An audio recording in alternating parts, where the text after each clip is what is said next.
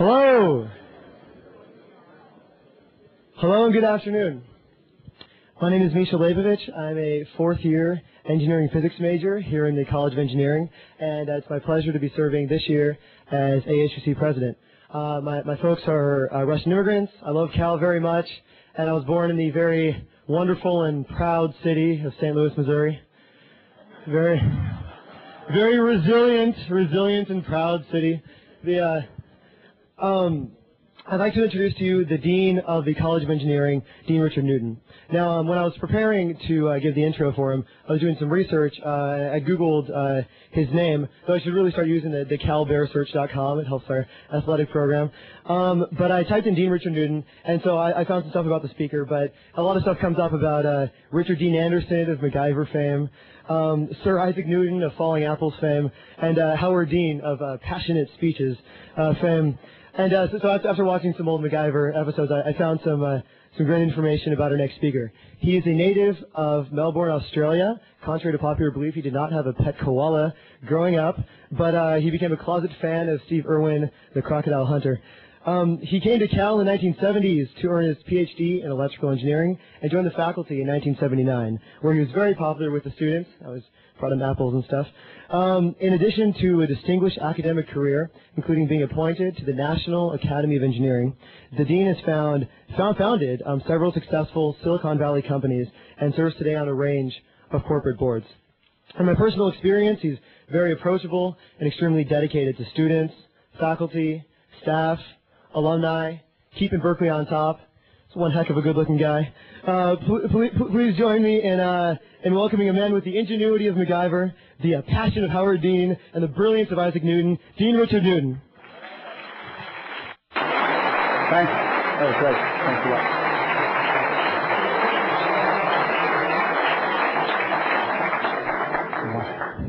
now I've got something to live up to. So. Ah, President Dynes, Chancellor and Mrs. Birgeneau, Chancellor and Mr. Tomlinson-Keasey, distinguished guests, friends of the college, colleagues, welcome to this very important event in the history of our very special institute, CITRIS. CITRIS, as you know, or most of you know, I hope, is one of California's four California Institutes for Science and Innovation, and uh, it is designed to engage with the students, the faculty, the staff, and the state to help us keep California's economy on top and to produce the leaders that we need to carry us well into the 21st century. These institutes were started about four years ago now, although CITRIS actually started a little later, about three years ago. We, we, were, we were the fourth of three uh, of these institutes. Um, and uh, and so we've been going at this now for about uh, three years, and it is a, an incredibly important milestone for us to be able to break ground on what ultimately will be the headquarters building for this very important institute. Now, CITRIS is a simple word, but it has a very complex interpretation. It's the Center for Information Technology Research in the Interest of Society. Yes, it's focused on information technology research, but the real theme and the real motivation behind CITRIS was the recognition of the faculty on four of our UC campuses that in the interest of society was critically important to us at this time in the evolution of our, of our community and our planet. These faculty got together prior to the awarding of this institute and designed a research agenda that was centered around the notion of doing the research needed to improve the quality of people's lives in California, in the United States, and throughout the world. This was critically important to the faculty and the students that put this uh, uh, institute together, and you'll see some of the results of that as I get into it. Um, as Dean of the College of Engineering, I'd like to begin by especially thanking um, our alumni, the friends of the college that have supported us, our dedicated trustees from the Berkeley Foundation, many of whom are here today, your help in many, many ways, making phone calls when we needed them uh, the most, uh, were critically important to moving this particular endeavor through the political landmines that we had at that time in, in the history of the state. I would also like to acknowledge and thank all of our industrial partners. We have many industrial partners. I'll come to that in a second, but uh, they have also been critical, not only in supporting the research, but also in promoting the importance of the university and, frankly, of this particular mission. When we started CITRIS, this idea of technology in the interest of society was actually a very strange one for a lot of people. It was in the middle of the dot-com boom. People were talking about Silicon Valley and how the internet was going to change the world. People were investing in, in high technology companies and it looked like that was never going to stop. So the notion of actually working on things that are involved in areas like transportation, healthcare, etc., were not really the center of the world. Then came the energy crisis in California. And of course, we always had energy on our list here for CITRIS, but we moved it to the top of the list when that happened. Then came 9-11, disaster management, disaster mitigation, detecting the possibility of, of uh, problems like that was always on our agenda, but that also moved up in priority. And we've seen now that throughout the United States, frankly throughout the world, using technology to improve the quality of lives for people, to protect people, to, to improve the economies through technology has become a real priority for, for many, many other institutions, not only here in the United States, but throughout the world. Now, before I get into the details, I'd like to first uh, uh, acknowledge a few very special people. Ruzena Bajcsy is, where's Ruzena? Just stepped out. Okay, Ruzena is the director of our CITRIS Institute. Um, Jim Demmel, our chief scientist. Gary Baldwin, the Associate Director of CITRIS. Um, these people have absolutely dedicated themselves over the last three years to getting this institute going, and I, and I really thank them very much for all that they've done. I'd also like to thank Jeff Wright, who is here. Is Pat Mantey here? Pat's not here. Pat was coming. Pat's the director at Santa Cruz. Jeff is the director at UC Merced of CITRIS. And of course, the, the fourth campus is UC Davis, where Ben Yu has, has been uh, uh, leading the charge for us. Now, this morning, those of you who were at the, at the trustees meeting heard Jay Keasling talk about the importance of technology and its use in improving the quality of lives of people throughout the world.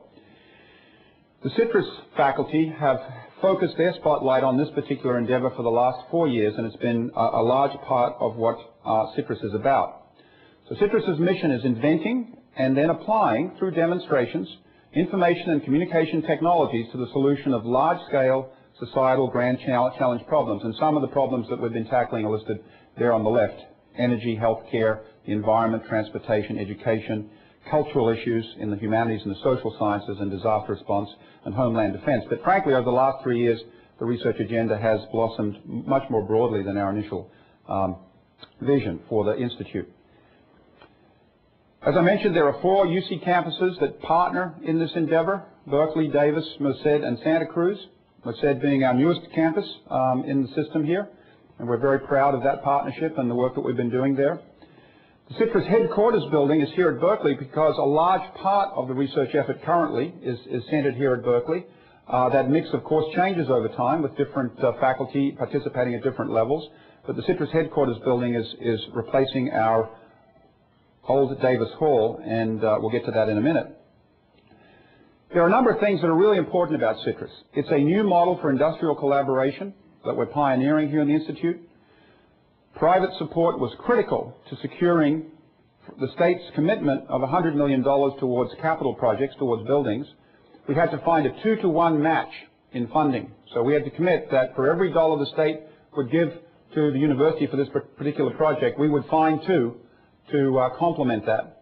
And while the state's commitment was primarily for, in fact, almost entirely for a building or buildings, the money that we were able to secure has mostly, almost all of it, been focused on, uh, on the education and research missions of the university.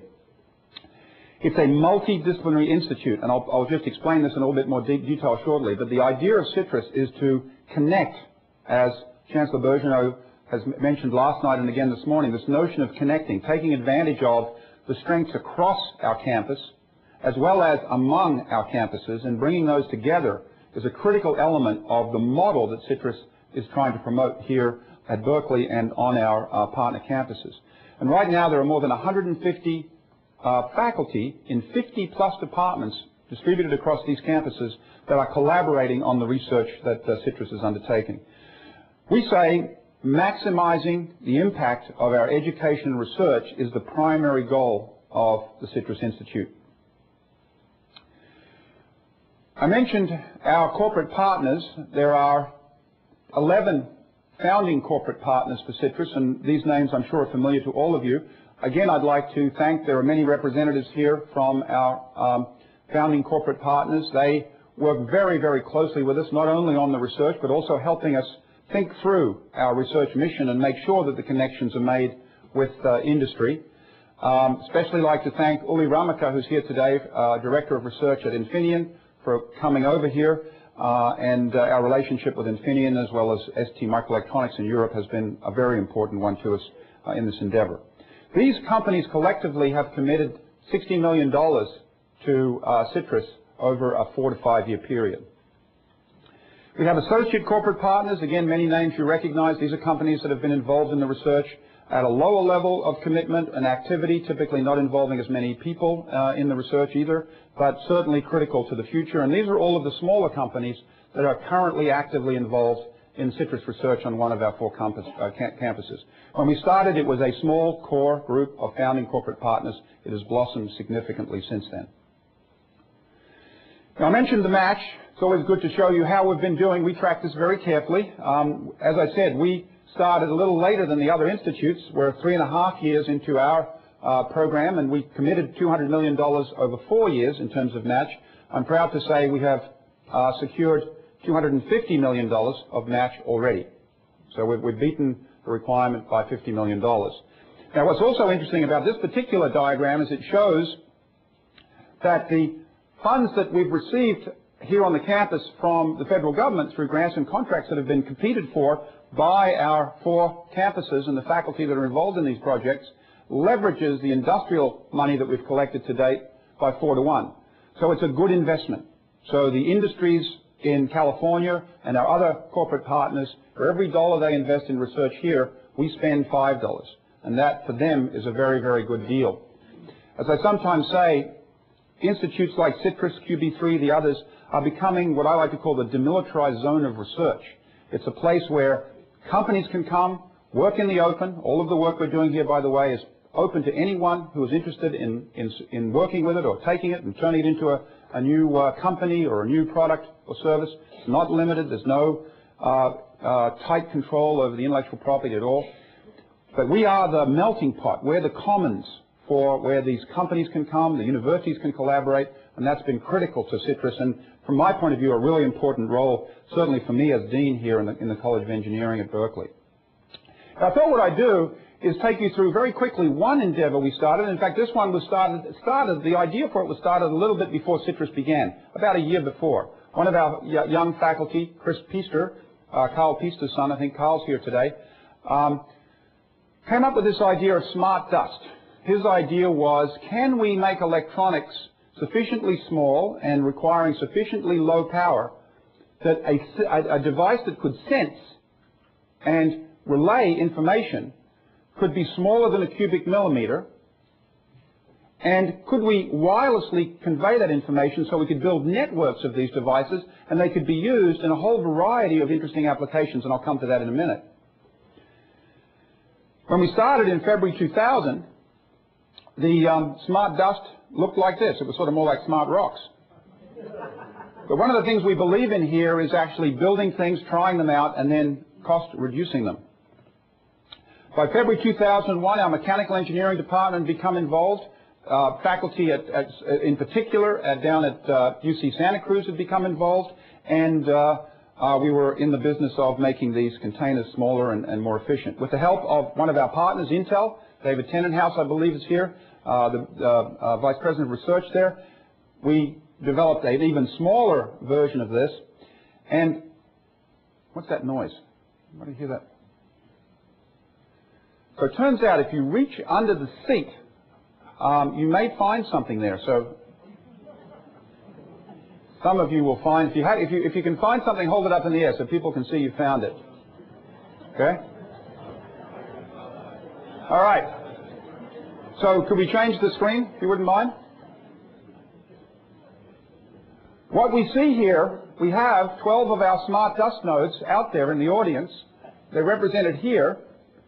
And what they're doing is they're beeping. We just turned them on, and they're trying to find one another. And as they find one another and they connect and form a network, you will see green lines showing up, showing the paths of those networks between those green uh, uh, smart, smart dust motes and so on.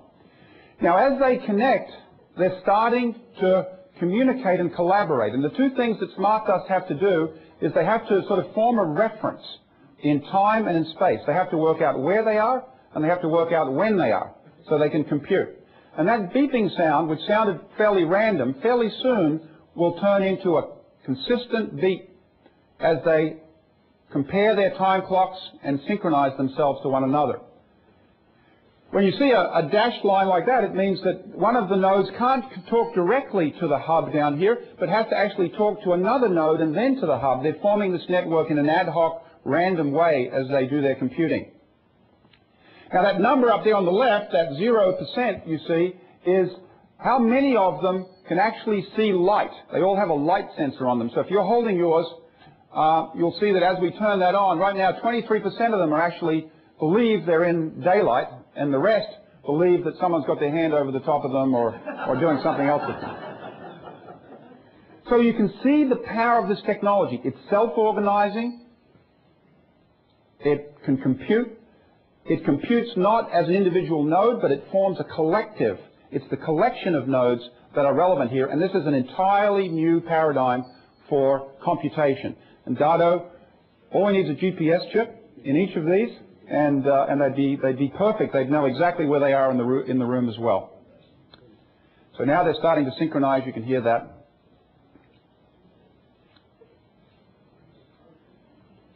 Now, in February 2002, we got all the electronics for that system down um, into, uh, into a chip uh, that size with the help of a partner, National Semiconductor.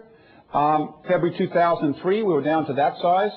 And our goal is to get these dust motes down to this size. This, this is not a real one. These are actually RFID tags. But that's our goal, and that's the D in the word God on that penny up there.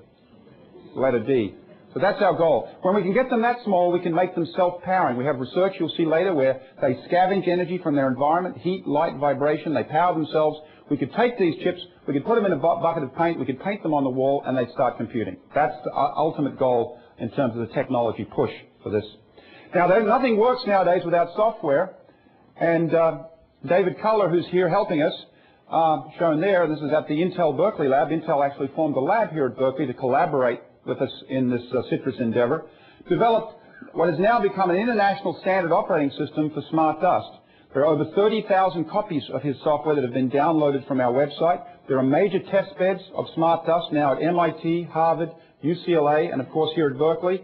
And this summer, DARPA, the Defense Advanced Research Projects Agency, is funding the construction of a 10,000 node version of what you just saw to see what happens when we have that large number of sensors. What are we using it for? Well, uh, faculty here at Berkeley and at our partner institutions have used this in a number of ways. We went to Japan. We sent a team to Japan to look at the liquefaction of some ground. We've got all sorts of projects going on up in the Central Valley in terms of monitoring for earthquakes and the potential of earthquakes. We're retrofitting buildings to look at the effects of seismic uh, uh, movement and whether the buildings would be safe after a seismic event. You'll see later out in, the, in, the, in our demonstrations the use of smart dust in fire monitoring equipment and ways of helping firefighters know where they are in very dangerous situations and a lot of smoke. They've been used to measure the microclimates on, on redwoods here in the botanical garden. The botanists are getting data that they've never, ever been able to get before, and it's changing the way they see their research in terms of, of uh, trees and, and vegetation. Uh, we've wired the Golden Gate Bridge. When you drive over it, our smart dust is there monitoring the movement of the bridge and uh, relaying back to us information. It's interesting to note that the top of the bridge moves about 20 feet in a strong wind. We've been able to measure that. Um, we've been over in China working on the preservation of uh, the Mogao Caves in Israel, helping them with um, Masada, and teleactors is another demonstration you'll, you'll see out here uh, after this um, uh, brief introduction. The point here is that it's not just about the technology development, it's about the interaction of that technology development with all of these kinds of applications. And that drives the technology development in a virtuous cycle towards things that people actually want to use. The result is we've created now a community over the last four years here at Berkeley. These are all Berkeley faculty that happen, I, I have this, I apologize to our partner institutions, but I happen to have this particular slide handy. Um, and um, there are, of course, many people, at, uh, particularly at Santa Cruz and Davis, not so much at Merced yet, but uh, that are also working on this, and Pat Mantey is one of the keys. These are all EECS faculty. These are all people working on various aspects of privacy, security, in the technological sense, and these are all faculty from other units. Praveen is an ECS person, but he's working on an application in transportation, and they are, in fact, um, uh, looking at the legal aspects and, and some of the other aspects of this technology that become important when you can sense and distribute information. Again, the activity is distributed across the various campuses and certainly across the various units. Not only that, the technology, Crossbow, a company down in Silicon Valley, has produced now 50,000 of these dust motes. Half of them have gone to universities, half of them have gone to startup companies. Um, Dust Networks, Kris Pister's company, has spun out, and he's uh, actively developing new technologies in this area. And there are a whole lot of companies that have developed um, since then and uh, are all taking advantage of this technology that we've placed out there in the public domain for everybody to use and develop.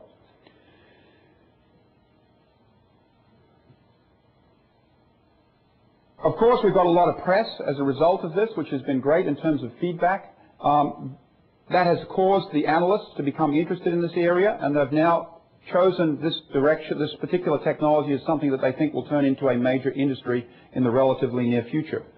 Of course, now most of the activity has been focused around the research applications, but their view is that these particular areas will be next, followed by industrial monitoring, electric power and utilities. And by the way, we have a very large CITRIS project working with the California um, authorities on, on uh, the power management uh, as aspects of smart dust and how it can be used, and then eventually into consumer and automotive markets.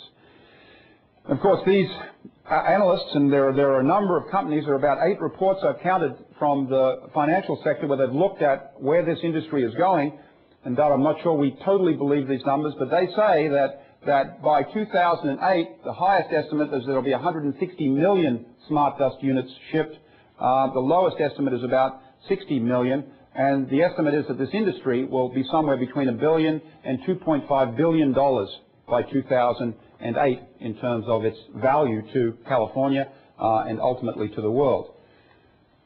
Starting five years ago with an idea that one of the faculty had about building something tiny and seeing what you could do with it.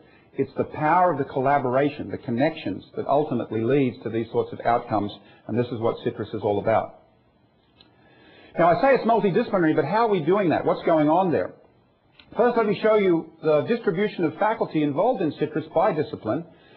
It's about information technology, so you'd expect that about half of the faculty would currently be from the electrical engineering and computer science disciplines on our four campuses, and they are.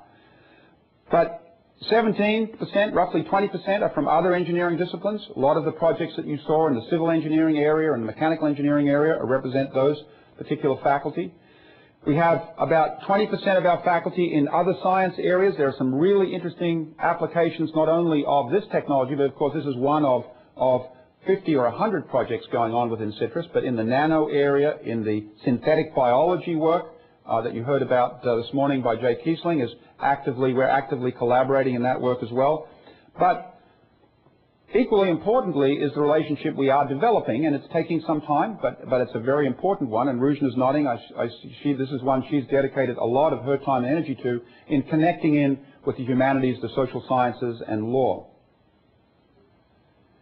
Now, you know, it's all very well to say let's collaborate, but when you actually get together, what do you do and how do you do it? And I'm going to give you one quick example of how we make that work and why we think this is a very, very special institute. There's a book, a very small book, I recommend it if you haven't had a chance to read it, that uh, uh, came out some time ago now called Pasteur's Quadrant, uh, written by Donald Stokes. And he says when you think about basic research and you think about how it moves through to ultimately to products and services that people buy uh, and consume, it's not a linear process. And in fact, there are two factors you have to consider when you organize that activity. The first thing is, are you, as someone who's working in this area, interested in fundamental understanding? Is that important to you or not? Do you care why something works and how it works, not just what it does? The other question that's orthogonal to that is, are you interested in whether what you do is usable by someone or not?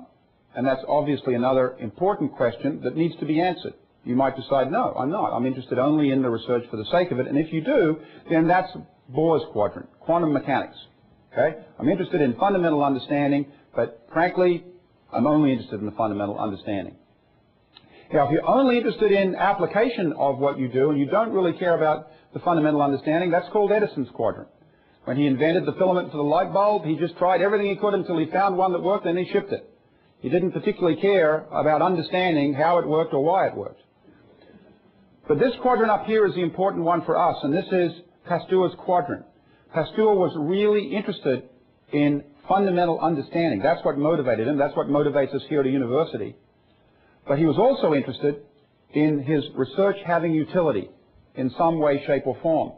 And we call that, Stokes calls it, we use, we borrow the term use-inspired basic research. Now, it's not about applications. We're not doing applications.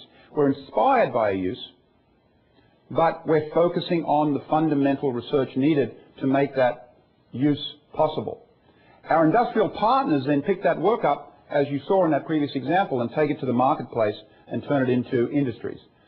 Again, we're not interested in killer dollar licensing of technology. We're interested in founding billion dollar industries. That's the goal of this institute.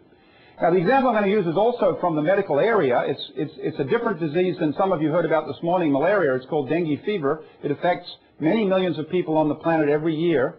Um, if you get it the first time, you may not even know you have it. And that's part of the problem, detecting the presence of the virus in your blood supply. If you get it twice, you probably die. So it's really good to know that you've had it the first time. The problem is the way that you do that is you test a sample of blood, and in the developing world, which is mostly where this disease is found, um, notice that there is a small part of the United States that is at great risk for this disease as well, there in the, uh, in the southeast. Um, the actual blood test can take as much as two weeks, and by that time the disease has moved. It's an airborne disease. It's, it's, it's, it's borne by uh, mosquitoes as well, like malaria, and it's a major, major problem. Now, few of our students working with Professor Bernhard Boser are in the MEMS area, the micro-electromechanical systems area, making micro-mechanical systems on top of silicon chips, things that move, they were really interested, inspired by this idea of use-inspired basic research. They probably didn't know it as that at the time, but um, that's clearly where the influence came from. And they became interested in trying to address one of these critical problems. And they went over to the School of Public Health. They found a receptor, Professor Eva Harris over there, who was interested in this particular problem. They said, well, let's see if we can collaborate on this. They brought in people from molecular and cell biology, from integrative biology, and they put together a team to tackle the rapid detection and uh, assimilation of the information related to the presence of dengue fever in a blood sample. The result of that was that um, they created this uh, small device down here, which, when you put a drop of blood in there, uses a very sophisticated lock and key magnetic mechanism that was invented by these researchers in electrical engineering to detect the presence of an antibody to that dengue fever virus. Once it's detected that, then the work that we did on Smart Dust is used to convey that information back to a central site where that information can very quickly be assimilated and you can look at the spread of this disease as it moves through a community. Now, one of our semiconductor partners, National Semiconductor, decided, well, that's a nice chip to build. It's a consumable. We're going to use a lot of them. So they were interested in helping us with uh, the manufacture of that. One of those students has, of, uh, of Bernard's has moved on to the Whitehead Institute and is working there. And um, Turgut will be, in fact, outside if you want to talk to him about this project uh, after we finish here. Uh, but this is the team, Acumen Foundation, uh, who is in fact interested in transferring the technology to low-cost manufacture for the developing world, uh, and, uh, and faculty from Berkeley. Sharp, uh, this was a visitor from Sharp who was part of the collaboration for a year while he was here as well. These are some of the prototypes of this technology, and this is one of the chips that was developed uh, as a part of this. Now, it's still got a long way to go. It's not done. There are all sorts of issues that these researchers are still struggling with, fundamental basic issues about extracting the information they need from the blood and how they clean this thing and all sorts of other things that are very, very relevant and important. But it's an example of use-inspired basic research, and that's why I selected it. More than 150 faculty and 50 plus departments and their students are participating, as I mentioned, in this particular project. And this headquarters building which is going to be situated right here in our college, is critical to the future of this collaboration. Right now, this is, this is a picture of our College of Engineering master plan. And all those yellow buildings are ones that are going to be renovated extensively or rebuilt over the next, certainly not in my lifetime, but um, um, it's a master plan after all. Um, we are we are sitting now around about here in the in the Bechtel uh, uh, engineering building, and and part of the plan ultimately, of course, is to replace this with a with a an upgraded building, but of course it would still be uh, the Bechtel building. In here, we're going to develop a student commons. Our master plan determined that that was critically important to us in the college. We have no social site in the college for our engineers. And so the student commons is going to be in this west terrace here, which is where the demonstrations will be. And the student clubs and societies will be around, not those demonstrations.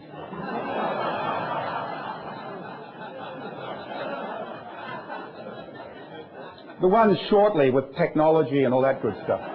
Where's Misha? So, oh, there he is. Okay. Part of the CITRIS building is the first phase of that, which is a cyber cafe that is going to be provided uh, to connect the students through into this uh, part of the master plan. This is the building, just in case you were wondering what we pulled down when you go out and have a look at the pile of dirt there. This is what was pulled down. This was the old Davis North building, not much of a structure, not particularly useful to us as a college. It was a, it was a good site for this particular uh, building in terms of uh, what we needed to do, and we were able to reaccommodate the research that was going on there. And uh, this is the uh, artist rendition of the building that we're planning to build. Five stories up here of completely discretionary research space. No one gets a permanent office. We bring the faculty together from across the campus. When they leave their building, they lose their office, part of the principle. They come to the CITRIS building, they can stay there for three, five, seven years, and then they go back. And the commitment their department chairs make, just in case we have some here, is um, that you need to provide an office when your faculty member comes back from their stint uh, at CITRIS. But it's designed to be flexible space for collaboration. The projects that Ruzena has laid out that would fit this are multi-department, ideally multi-college, ideally involving other campuses, and certainly involving collaborations that are across many, many disciplines, and that's the goal for this uh, first phase of our collaborative space in the college. Another very important element of this, critical to us here, is this nano fabrication laboratory. It will be named after the Marvell Semiconductor Corporation, who has given us a generous gift to help us fund this project. And this particular facility will in fact be replacing the existing microfabrication facility we have here, doubling its size, upgrading it, and moving from micro to nano. And uh, uh, by the way, that facility even today is used by more than 300 researchers on our campus, only 100 of them in the College of Engineering. The other 200 are already distributed across the campus in other units, particularly physics, uh, Chancellor. Um, so uh, just want to point that out. Another key, another key uh, element of of this uh, of this building will be a brand new state-of-the-art distance education center. Uh, that's the Banatao Education Center, and Dado and Maria Banatao, who are here today, Uh, have uh, uh, generously donated the funds we needed to construct that facility. It not only will be situated in the CITRIS building, but it will be connecting to laboratories and classrooms throughout the college, throughout the campus, and with our partnering institutions. All of the instruments we'll be putting in the lab will be put online and made available to high schools, other places to look at. We want to connect ourselves into the community as effectively and efficiently as, as we can uh, through technology and the internet, through information technology. So, you know, I've given you a once-over lightly and uh, of, of, some of the things that are going on. Of course, the research is going to be out there, and, and uh, but I hope you can see the potential, what we've already done, but also the potential of this institute in, in, in terms of where it can take us. That one project, Smart Dust. Last week, the, the, the advisory board and the faculty were working on what we call the NBTs, the next big things for CITRIS. Smart Dust being the first one, and then we're working on the next couple and what those collaborations should be and what we can empower. It's an incredibly important uh, activity to our college and to our campus as well as to the campuses that are partnering with us. Now, you know, I talked about information, but as you can see from the projects, it's not really about information technology. We're thinking we probably should change the name to innovative technology research in the interest of society because the metaphor we're using and where it's going is much broader than simply information and communications technologies. Now, you know, I can't leave you without talking about our students because critical to this are the students.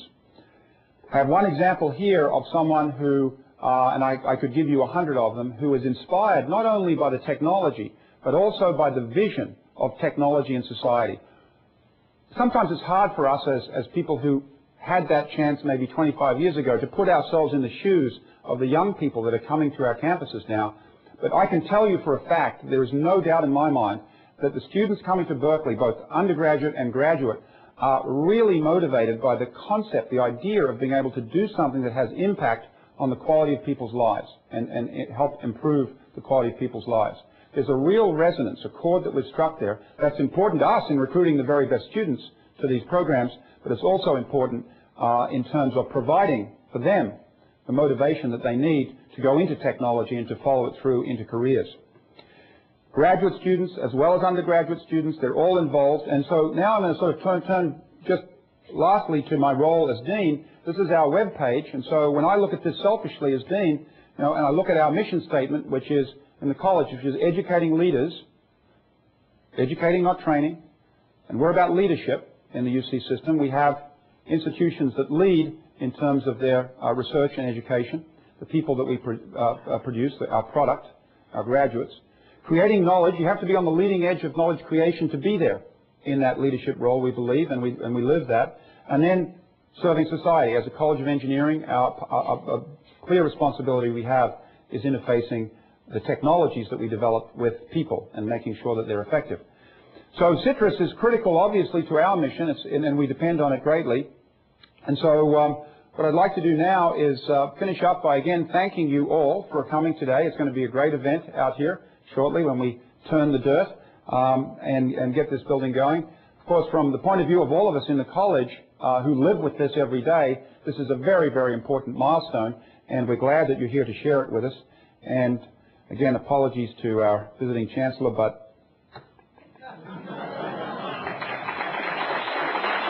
Thank you.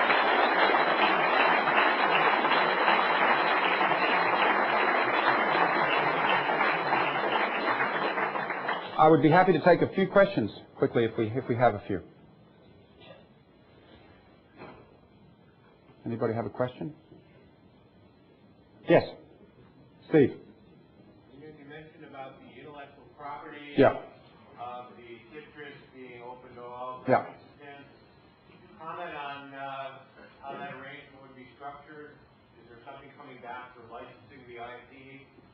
So, so it's a really important principle we have the opportunity and the right uh, through our UC system and uh, with our partners, partnering members to, to protect intellectual property if we think it's the right thing to do, collectively as a group. The university has agreed in principle to the following model, which is if the faculty agree, if the students agree, if the sponsor agrees, then the university will agree to a priori decide that the results of a particular project will be made available to anyone anywhere in the world, obviously subject to uh, export restrictions, uh, free of charge on a, royalty-free, non-exclusive basis. Um, the goal, from our point of view, in making a decision like that is what is the best thing to do in terms of maximizing the impact of our research.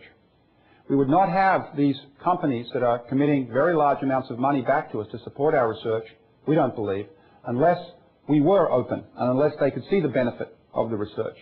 So in some situations, many situations in IT, if we license the technology and control it narrowly, actually it's a self-defeating approach.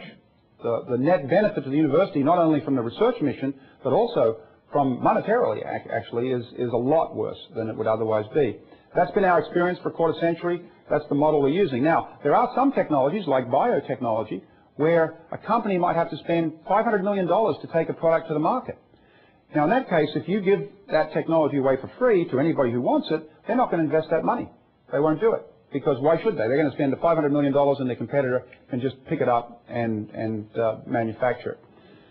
So there, an exclusive license is in fact the right vehicle to use to maximize the impact of the research. So what we do is we step back and we say, we ask that question. And that's the question that guides us in terms of what we do. And what I'm saying is so far, in all the work we've done, look at that, that smart dust, look at the impact it's having on the world, Look at the industry that it's creating. That will accrue huge benefit to our research program, to our campus, to our university, and we think that is the right way to work with that technology in terms of maximizing its impact. Sure. Yeah, John Paul.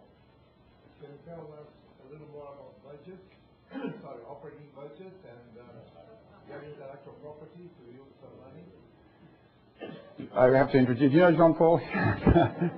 Jean-Paul is, uh, is our IBM representative on the, uh, on the CITRIS uh, Advisory Board. Um, Jean-Paul, you know, the operating budget, as you know and I know, is clearly an absolute top priority for us, and, and, and certainly President Dynes is nodding his head here. So we're looking for, we're looking forward to some progress on that. That's the issue here is we need additional funds to keep these institutes going, and I know the President is, is actively involved in working on how to solve that problem, not just for us, but for all four of these uh, institutes, and uh, we're all looking forward to, to progress in that direction sometime soon. The best I can say for now. Yeah, I bring my share, right? Absolutely. So, yeah, Jim. Just wanted to say that last week we we learned that the California Public Utilities Commission is going to put forth a new regulation that requires 10 million smart power meters to be installed in California homes. And we're hoping that our design will be part of that vision smart power. meter. Yeah, so that uh, Jim brings up, it, it, this is a, it's a feedback process. So we, we invent a technology, we create a vision. People see it, they say, well, that's possible. Let's go ahead and build something that, that requires it. And so the California Energy Commission has just required that 10 million um, homes or homes or 10 million meters for 10 10 million meters for 10 million residences need to have this class of technology in them by in about the next eight years. So that's progress there. Yeah. Is the CITRIS model itself having an impact on other institutions, research institutions, or is Berkeley just being Berkeley? Ruzena? Yes, and, and, um, Carnegie Mellon, Princeton University, Virginia, University of Virginia, uh, University of Florida, all are looking to us for mimicking our, and of course, Jim, behind the me, the foreign institutions, uh, we have a very strong collaboration with the Finnish government, Bekesh, the Scottish government came to us, the French, you might be surprised, but they came. And, um, and, um, and, uh, we just were invited and we are co-sponsoring a very exciting conference sponsored by UNESCO, a Club of Rome, in May in Paris, where they are, every day, they're building three satellite connections to different continents to promote knowledge-based societies in underdeveloping countries. And again, this is, is the core. So you, I think uh, two things I would say, I would add to that. One is, of course, you can never tell, I mean, great minds think alike, and you can never tell whether, when, when you're the reason why something happens, it may be just the right time and the right place. But, um, but certainly, uh, in terms of uh, the thinking here on the campus, we got out ahead of that. One I can definitely tell you that was strongly influenced by us was the Stanford uh, Institute for Energy and the Environment, which uh, suddenly popped up after, after CITRIS had generated quite a bit of success and enthusiasm. And when I talked to the dean down there off the record, he tells me that that was a very key part of the reason why they decided to do that. So these things are going on everywhere. I think I just finished by saying that, you know, again, these institutes are about enabling California industry, bringing the new industries to California so our economy moves forward as much as they are about anything else. While we're, while we're applying the research to these grand challenge societal problems, you can see from the technologies like smart dust and others that the spin-offs are going to be tremendous and they're going to continue to drive those, uh, those industries forward. And that's one of the things that makes us uh, the most proud of what we do. We can both basically do both things, we think, uh, simultaneously and be very successful.